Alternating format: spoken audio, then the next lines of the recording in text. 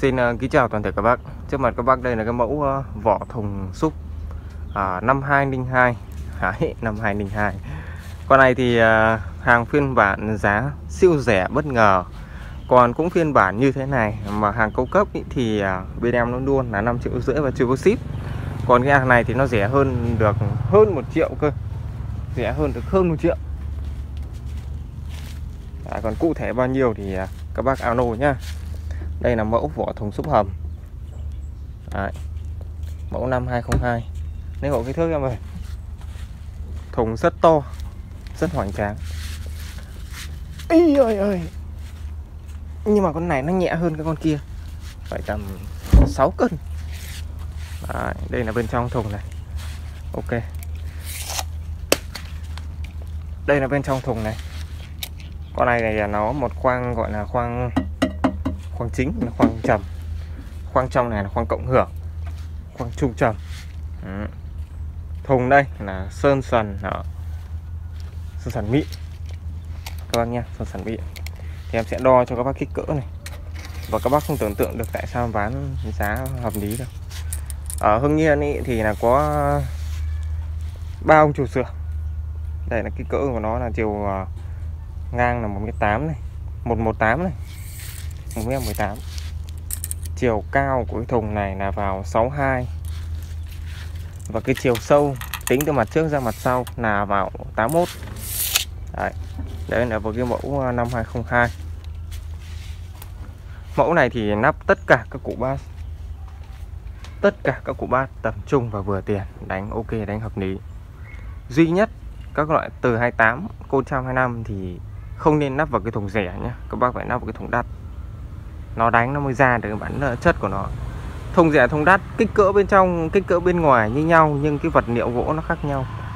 Con này nó sẽ nhẹ hơn cái con hàng cao cấp kia, phải tầm 3 đến 5 cân gì gỗ 3 đến 5 cân gỗ. Và cái thùng xịn này, gỗ nó nặng lắm.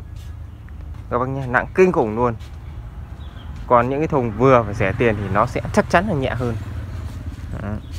gỗ thì nó sẽ xốp hơn, mật độ thì nó sẽ mỏng hơn và nhẹ hơn. Đấy thùng này nó to nó nặng lắm. Các bạn ạ. Một mình. Làm bê bê một mình nguy hiểm lắm. Khỏe chân bất cứ lúc nào luôn. Đấy. Đây là cái mặt trước nhá.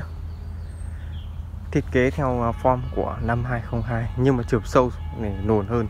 Chiều ngang thì được rồi. Chiều sâu thì nồn hơn tí. Và uh, form năm 2002 mà ria hàng à, uh, loại một hàng xịn đấy thì là cái à, thanh gió đây là nó là thanh cộng chứ không phải là thanh uh, uh, cộng đôi này. Hàng uh, một thì là bốn cửa gió bốn lỗ gió ở giữa những cái này thì nó lại tận là 6 lỗ gió. Và các cái hàng cao cấp như cái hàng cao cấp bên em có thì là cái thanh trống ở giữa này tất cả các cách nó đều được soi bo góc rất là tỉ mỉ kể cả cạnh góc này soi bo góc đây này soi bo góc cái này cũng soi bo góc hết nhìn trông nó đẹp, nó tỉ mỉ lắm. Nó không kiểu như thế này đâu. Và cái hàng này thì em nói luôn nhá, bán hộ chủ xưởng, giá cực kỳ yêu thương. Giá cực kỳ yêu thương, giá tốt nhất luôn cho các bác. Thùng này thì em nói luôn, về thì em sẽ cộng 200 nghìn. Ờ, 2 đến 300 nghìn trên một đôi. Và sau đó là bán ra. Và cái tiền cộng cái thì là sẽ, thứ nhất là vào duy trì hoạt động cửa hàng này mới thứ hai là đóng bìa cho các bác này. Thùng này nó to và cồng cành nên em không có bao cước kiếc gì đâu. Cái này cước của một chiếc này gửi xe thì nó khoảng tầm 500 đến 800 nghìn một chiếc. Vị chi là một đôi nữa một uh, triệu đến một triệu tám một đôi. Và nếu như cái thùng này mà gửi bưu điện thì ờ, giá của nó đâu đó cũng phải tầm 800 đến một triệu mốt một chiếc vỏ hoặc cả noa. Cả noa thì nó chỉ tính thêm tí tiền thôi còn kích cỡ của nó như này thì trung bình từ 600 đến 800 hoặc là một triệu một chiếc. Đấy, các bác lấy cả đôi thì như thế nhân đôi thì rồi cước cào thế.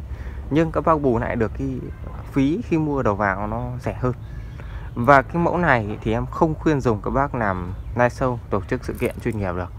Các bác chỉ đặt inside tức là đặt cố định để đâu để đặt nguyên ở đấy.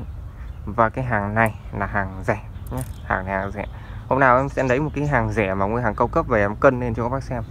Chứ không các bác lại vào em bốc phét và cái hàng cao cấp kia nó nặng hơn rất là nhiều. Cái gỗ này cũng là gỗ ván ép nhưng nó rẻ hơn nên là nó sẽ có giá rẻ hơn. Đã rẻ hơn thì gỗ chắc chắn nó nhẹ hơn. Ừ. Đấy, ok. Thì đây là tổng quan cái mẫu năm 202 các bác nào quan tâm thì alo cho em nhé. Giá vô cùng sân yêu thương thôi. Giá nó chỉ Ờ, dưới 5 triệu, cụ thể bao nhiêu còn đâu em mà nói. Giá dưới 5 triệu đâu cái giá anh em dãy đánh đạch rồi. Chuẩn bị tiền mà mua thôi nhé hợp lý đấy. Thế là các bác, kể cả các bác nắp từ 28 của 125 và đánh nó cũng được. Nhưng mà ờ, vận chuyển đi thì hơi nhọc và cũng không ưu tiên lắm. Các bác thì ờ, nên dùng nắp từ 28 của 125 để một chỗ thôi thì ok. Vận chuyển đi lại thì em không ưu tiên lắm có nhiều cái mẫu thùng như này, nhưng bên trong thùng của nó khác này. Đấy. ok, thôi được rồi. Video dưới đây đến đây thôi nhé. Các bác nào quan tâm thì alo cho xin kính chào toàn thể các bác. Hẹn các bác trong clip lần sau.